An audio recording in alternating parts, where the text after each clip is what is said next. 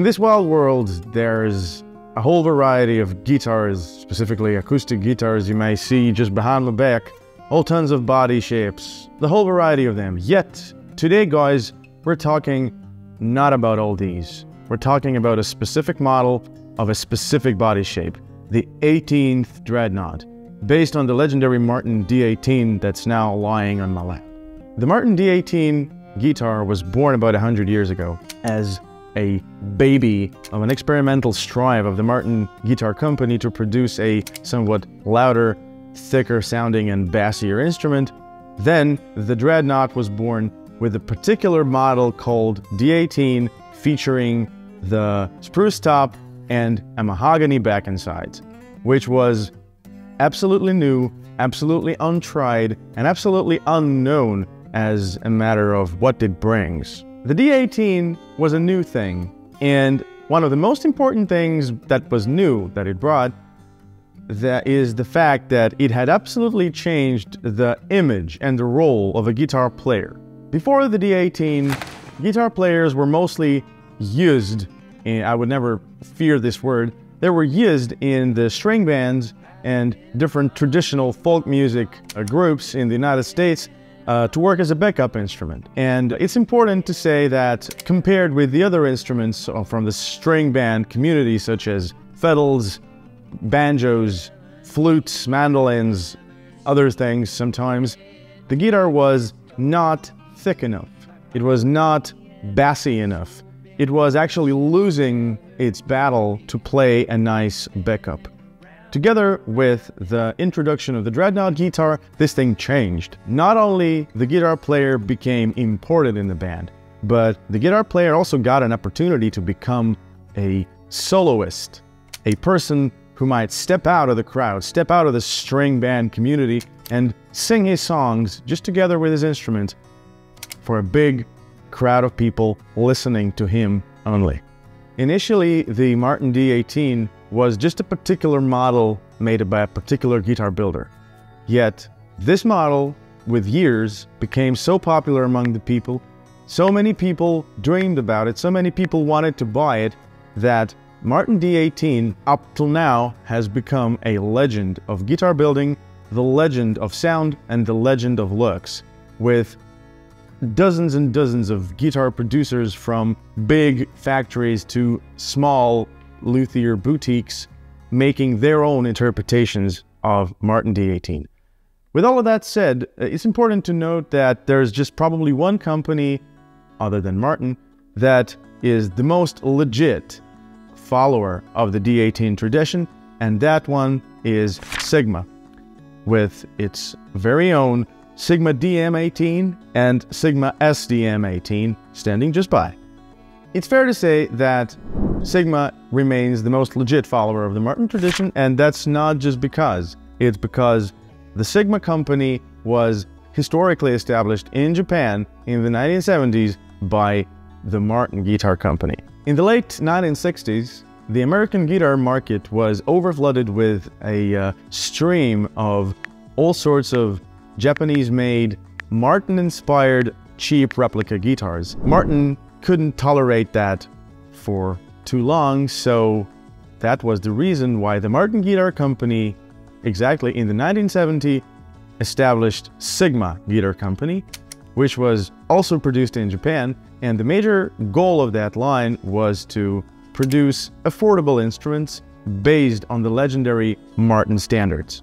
So getting back from the 70s to the days today, we may say that the initial Martin idea and the initial Martin's initiative came to be extremely successful. And what was once a Martin Guitars affordable daughter company has now become an independent, solid guitar brand that is progressing incredibly rapidly. Like I said, the Sigma company has two models which are following and which are based on the traditional Martin D18 standard. The DM18 versus SDM18, where the S letter stands for solid dreadnought mahogany. So that exact guitar is now in my hands. So this guitar is practically following all possible sizing, material, coloring, sounding lines that the Martin Guitar Company set creating its D18 instrument. So there's not a single thing different in this instrument from the original Martin D18. But it's fair to mention the DM18 as well. This instrument features some differences from the classical Martin D18 setup, with just the top being solid here and the composite material replacing the ebony fretboard and bridge.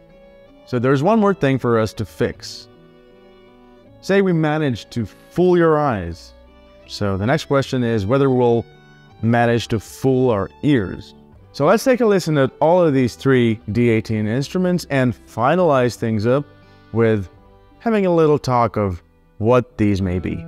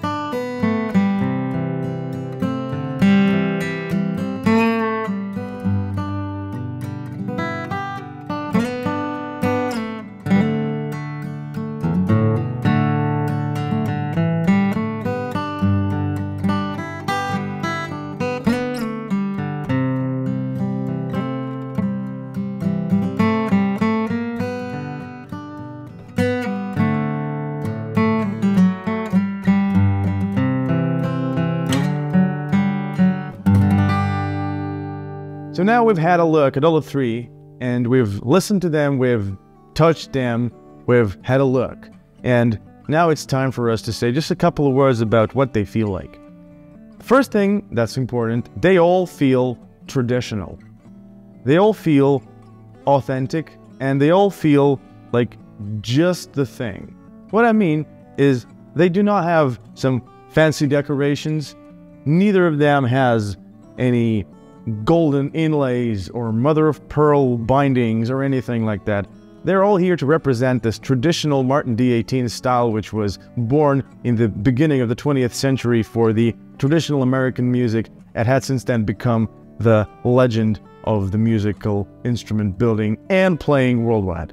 At the same time, it's probably important to mention that, of course, the all solid instruments like the actual Martin D18 and the Sigma SDM18 do bring you a deeper feel and a whole thicker sound.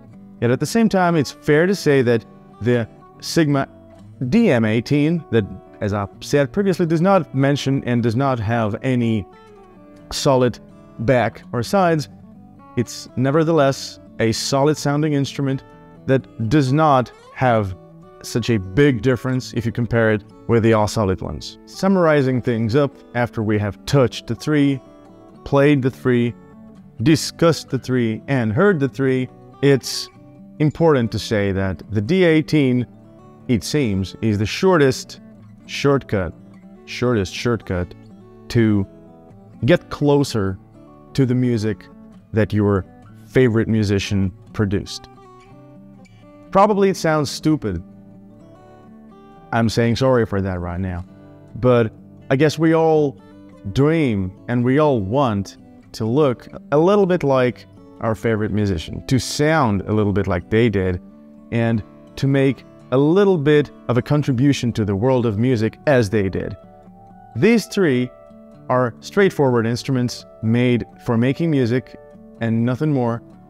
They are guitars for the people, honest instruments that will accompany you in all the ways you go.